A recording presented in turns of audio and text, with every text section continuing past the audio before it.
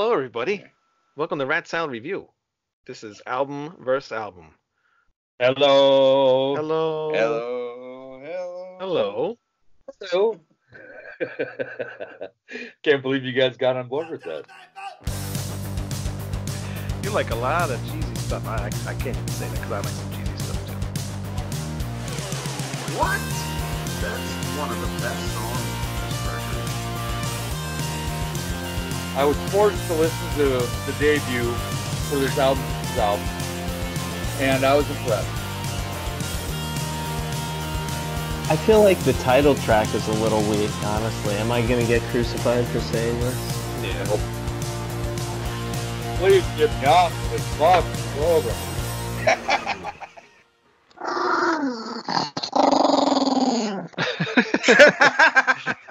I was like, what the fuck is that?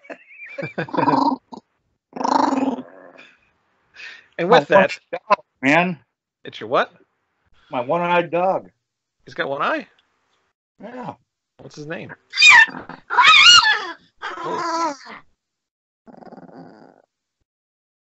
What happened to his eye?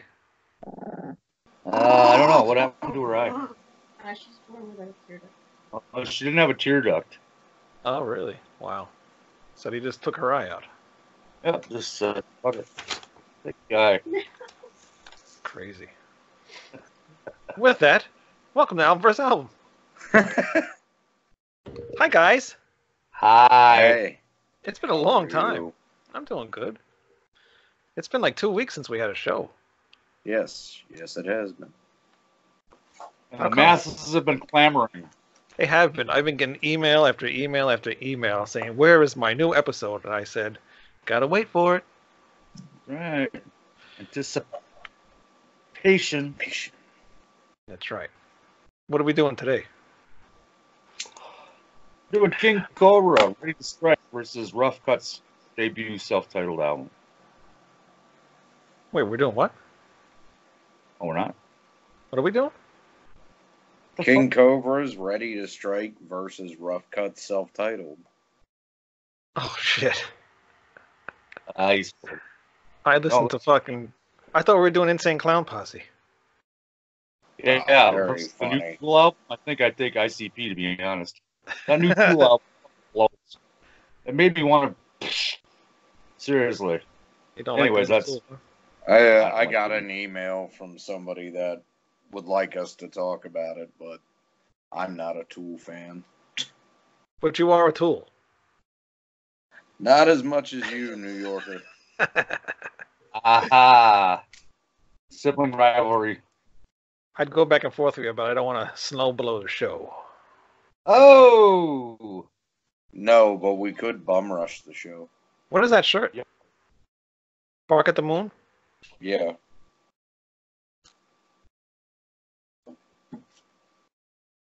Bark at the Moon. Nice. What The hell are you wearing? Oh, uh, Wendy Wendy Williams, right? Yep. Nice. I'm just wearing Pac-Man. Fits today's show. All right. Who wants to go first? Since these are your picks, uh, Saxon, you want to just give us some brief uh, backstory about King Kobra? King Kobra, uh, fronted by the world's greatest rock drummer, Carmine Appice, or Carmine Apice. Really depends on what day he wants to say his name. I've heard it both ways. Um, uh, lead singer was Mark Free, who turned into Marci Free in the 90s. Uh, you probably have heard that story. Yep. Really? Yep. Johnny Rod, the bassist, went on to Wasp. Uh, Mike Mark Sweeney, I believe, went to Bullet Boys. Um, and David Michael Phillips, he did something else I can't remember. RC Free. Why does that name sound familiar? Well, it's one of the few I know why. rock uh, lists that uh, went from a man to a woman. Yes, and she, he, she, he is the also the vocalist for Unruly Child. Unruly Child, exactly. That's why the name sounded familiar to me. I like them. They're pretty cool. Pretty uh, good. Yeah, band. they're a Actually, good band. yeah, similar to uh, King Kobra. In a Yeah. way. They just came out with a new album about two months ago. Yeah, they did. Oh, somebody's got a message. That's actually Sideshow. you guys remember Yeah, I was gonna say Tosh just tagged us. Yeah. All right, cool.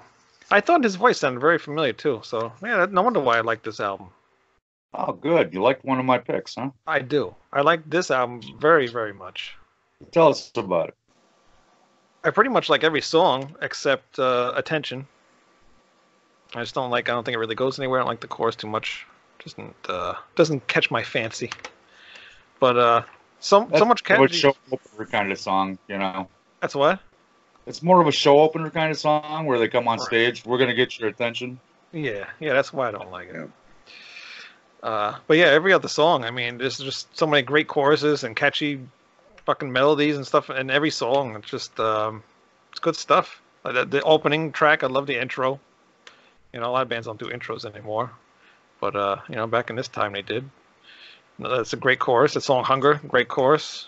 There's a um, uh, a part in after the chorus in, in "Hunger" that sounds like Judas Priest "Grinder." I don't know if you guys kind of Uh, that way. Yeah, sure. just a little Yeah, tiny little piece. I know what you're talking about. Yeah. Yeah, yeah. Uh, Shadow Rider. That's just a little bit of a slower song with another catchy chorus.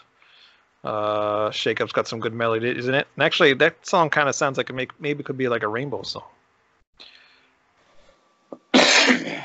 Shake Up, like a you know later rainbow, not like early rainbow. Not not not Dio. Yeah, not Dio Rainbow.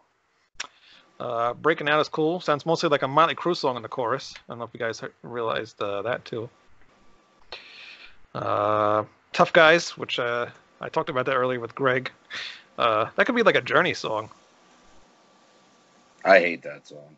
Yeah. Starts off with some real nice guitar lines and then just goes to crap after the first Yeah. minute of it. Yeah, it's alright. Uh, I really like Dancing with the De- Desire. Just that acoustic guitar. There's like no drums, nothing in it. I love a lot of melodies in that song. I love that. That's really cool. And uh, Second Thoughts. I really think you should um, listen to Pretty Maids again because this sounds almost like a Pretty Maids song. okay. Actually, this whole thing kind of sounds like a Pretty Maids. So I'm, I'm shocked that when we did that Pretty Maids show, you guys didn't like Pretty Maids. Pretty Maids are like Danish or some shit, right? Yeah, yeah.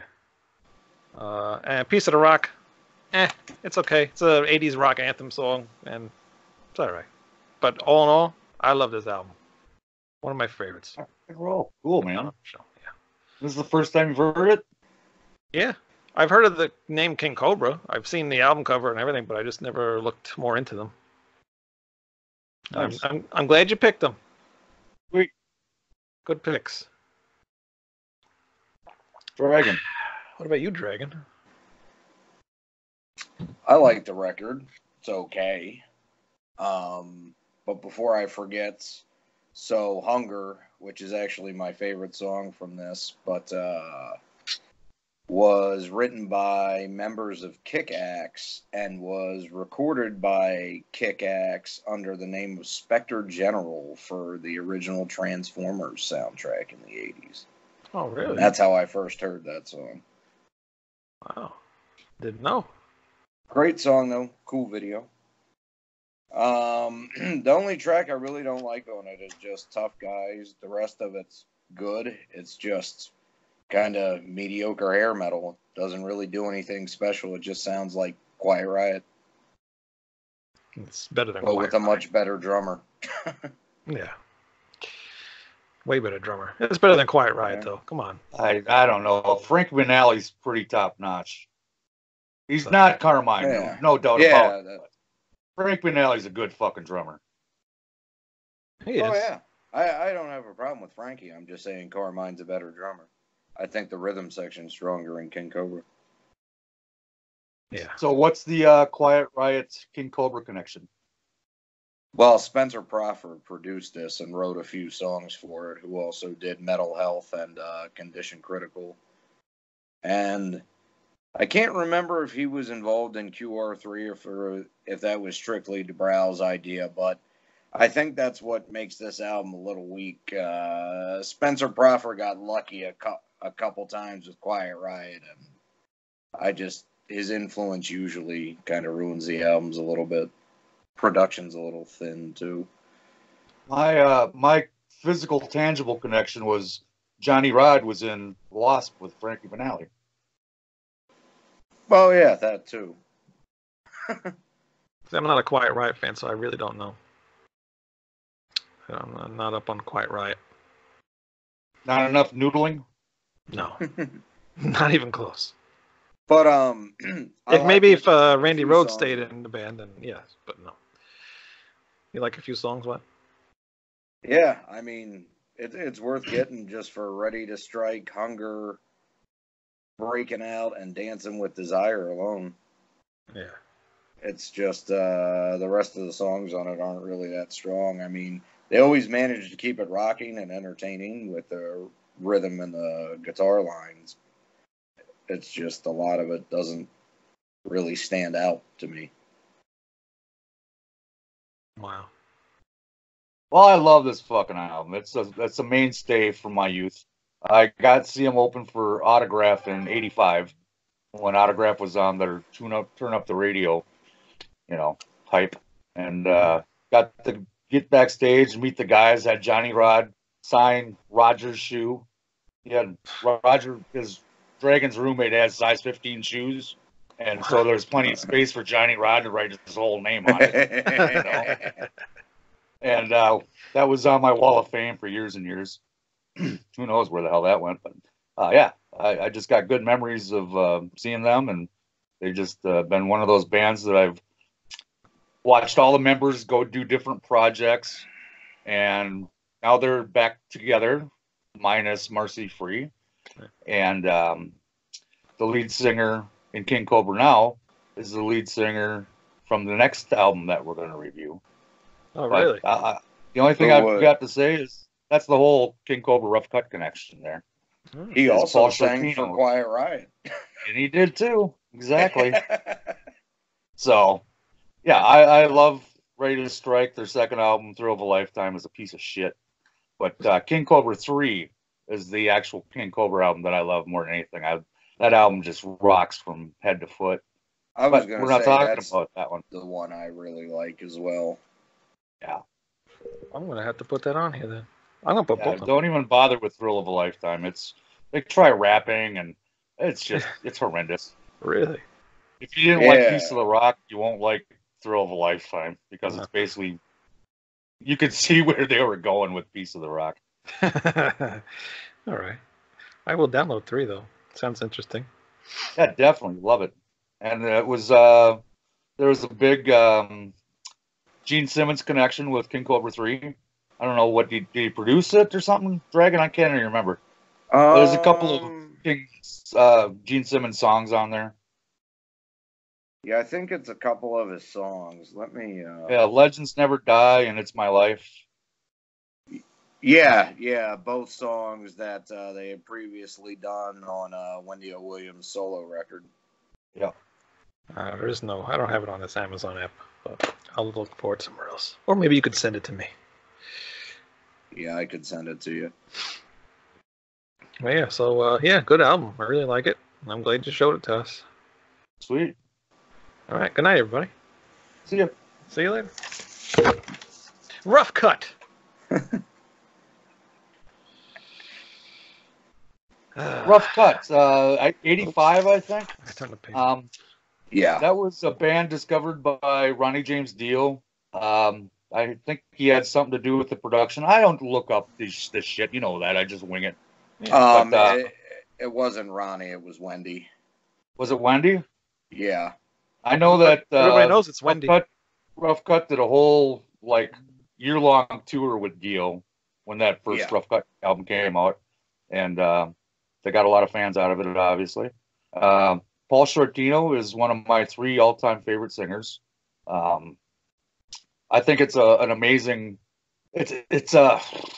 I can't even really call it a metal album. It's so bluesy and and weird, and it's got such different tempos and um, it's very unique for that time period. Hmm. Yeah, there's a lot of cool stuff on it. Uh, anything else you want to add? Uh, other than Paul Shortino's God, check him out. Is he in something else? Because his, his name sounds familiar to me too. Yeah, he was in Quiet Riot. He did uh, the QR album. Um, Is, is he the guy that was in Quiet Riot for like a week or something, or was that somebody else? well, they did a whole great album together. They got a whole thing And- going on right now. Quiet Riot. He's uh, done a bunch of solo stuff. Uh, he was done a couple of uh, albums with uh, J.K. Northrup, who's a underappreciated guitarist. Mm. Good stuff. It's all good stuff. It's his voice. Yeah. And now they just uh, got together with. Uh, well, I guess it's been a year now, but part of Rough Cutt and part of Quiet Riot got together and did a band called Rough Riot, and they did some shows in Vegas. I don't know if they're ever going to record anything, but it would be cool if they did. Hmm. And now Paul Shortino's the uh, singer for King Kobra, and they put out a couple albums with him on vocals. That's interesting. Because he's got more of a grittier, grittier voice than uh, Marci Free. has. Oh yeah, for sure. So That's I'll have to like check that out. I'll have to check that out. Um, Rough Cutt. I don't know. I don't like it as much as King Kobra. It's a decent album. It's got a better production than uh, King Kobra did. But uh, I don't like that uh, Janis Joplin cover song. I don't like that song in general. I just hate that song. Uh, Never Gonna Die. I like the the chorus in there. Sort of reminds me like of a Twisted Sister song, in a way. It's got like the Twisted Sister feel to it. His vocals kind of sound like Dee Snider, just a tad bit. Yeah, I can I can get that in the back of my head. Sure. Okay. Uh, Dreaming Again's that's a pretty good ballad. Uh, not crazy about Cut Out Your Heart. Reminds me a little bit of um, like how Queen Queen's uh, Stone Cold Crazy. I mean, it's a cool song, but it's like kind of like all over the place, and this kind of feels like that same kind of thing. It's a decent song, but just I don't know, it's just something about it. Um, the rest of the album is As far as, kind of his, as far as his metal vocals go, I think "Cut Your Heart Out's the the coolest It- metal song he ever did. But yeah, it is. It's the most metal song on his album. yeah, You know, it's it's it's uh you know the wildest song on the album, but uh, I don't know. The rest of the album's okay. Black Widow's decent, but not too much else really kept my attention as much as the other album did. I don't think there's as much catch, catchy things. You know, I'm all about catchy melodies and all that crap, and I don't know. It's missing some of that stuff on this, but it's not a bad album. I do like it, but it's just not uh, catchy enough for me. It, it failed to deliver on the on the uh, chorus stuff. What about you, Dragon? Uh, I El like this Dragon. one. Uh, I like Paul Shortino much, much more than I like Marci Free. The vocals are way better on this record. I also think the production's better too. The band sounds a lot fuller on this. Some real nice, chunky uh, sound to the guitars. Um, I like pretty much the whole album. I'm not a fan of that Joplin cover either. I like the Joplin version of the song, but I'm just not a fan of when people try to cover stuff. I don't like when Fastway did it with Move Over either. And uh, the ballad, I can't stand. Don't like Never Gonna Die or Dream It Again. But the rest of the album is great. Cut Your Heart Out and Black Widow are my two favorite songs from it.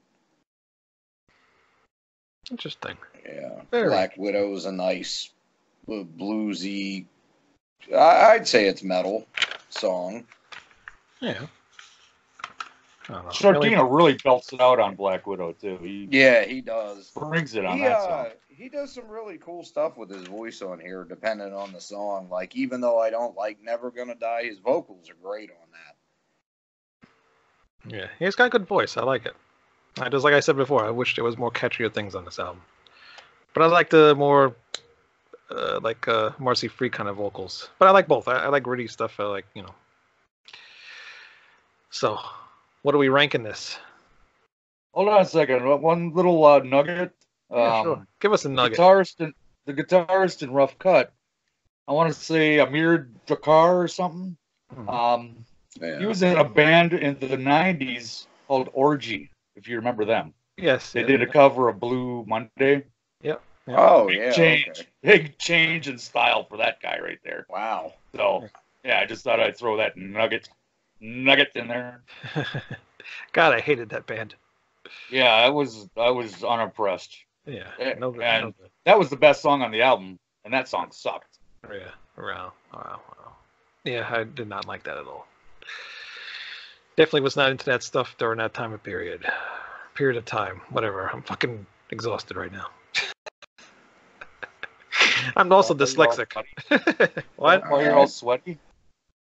No, it's not hot out. Oh. so- And uh, I looked it up. Ronnie actually did co-write uh, "Take Her" with them, Okay. and that's a great song. That's a killer opener. I can definitely see Dio being a part of that. And Shortino was on the hearing aid thing, so Oh yeah, he had a big actual uh, uh, his own uh, piece of that music. You know how they sliced it up between all the singers and sure, you know Nobody knew who the hell he was at the time, but he he was buds with Dio, and Dio said, "Here, have a line." You know, it's funny. uh, The uh, King Kobra sounds more like Dio to me than the Rough Cutt does. There's a lot more Dio influences on that uh, King Kobra. I don't know about all that. It sounds closer to more something like Ratt or Sunset Strip Maybe- to me than Dio. Maybe be maybe because Carmine Carmine Appice is on the uh, King Kobra album. Because he That was, was with Ozzy. Dio. Wasn't he with no, Dio? he would no. That was That's Vinnie. Ozzy's drummer. Yeah, I quit. I quit this show. yeah, Carmine was his little- Ozzy's drummer. Vinnie was Dio's drummer. yeah. Oh, His brother. Don't they hate each other? No, No, I thought they did. Boy, I'm just full of wrong information tonight. Mhm. Yeah, that's typical. Life should be like any other night. No, it shouldn't be. I'm usually the one that's always wrong, so that's just an inside joke, people. oh, and uh, this Rough Cutt album was actually produced by Tom Allom, who was work uh, worked Oh, with yeah. Priest throughout all the '80s. Right on. Yeah. All right, so what are we what are we giving this album? Saxon. Uh, All right, Greg, you go first. Go ahead. Are you gonna give it an M for mediocre? oh well, they definitely get rated M for mediocre at best, but uh, I'd give the Rough Cutt a seven and a half, and the King Cobra I can't go any higher than a six. It's average. That's not bad though. That's good. That's good.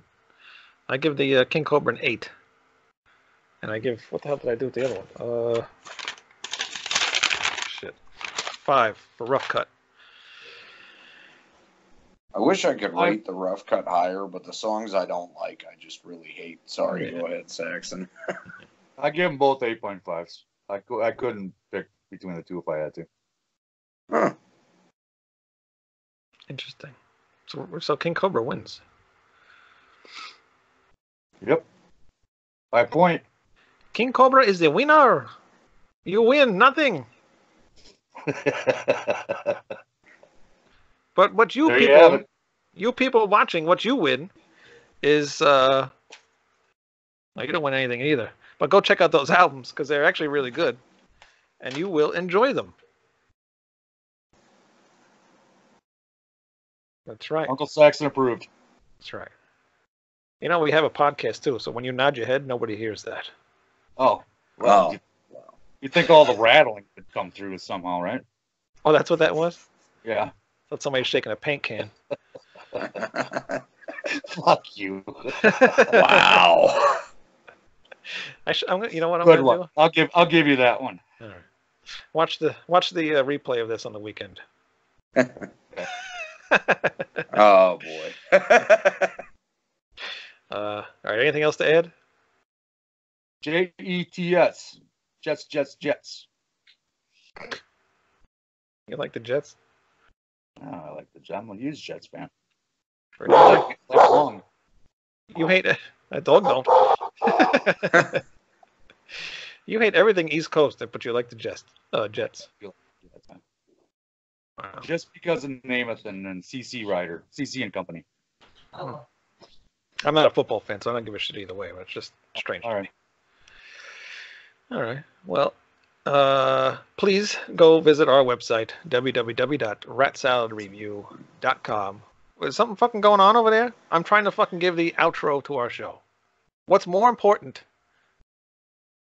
Does she got fucking something to say? Does the dog got something to say? What? I got my eye on you. Uh, what's the dog's name again? Tessa. Tessa. Right. Tessa the Mesa. All right. Tessa the one-eyed Mesa. All right. Rat Salad Review. be- blah, blah, blah, blah, reverse that. RatSaladReview.com.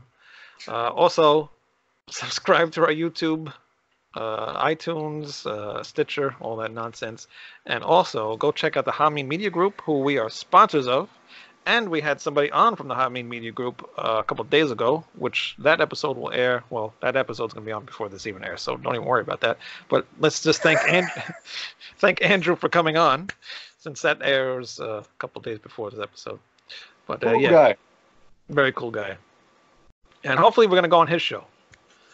So, and actually, after, when this show airs, we'll have we will have been on one of their shows uh, called the Impact Attack, and you can watch that. So I'm sure that was fun. Uh,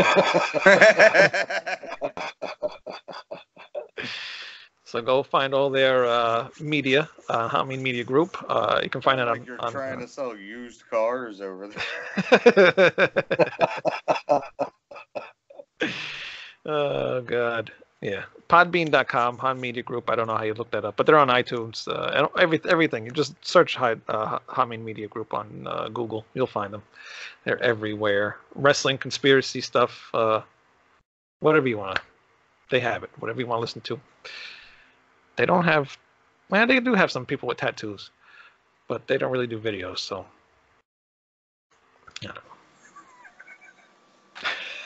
Bye. Bye Bye bye bye bye bye bye bye bye everybody. See you bye.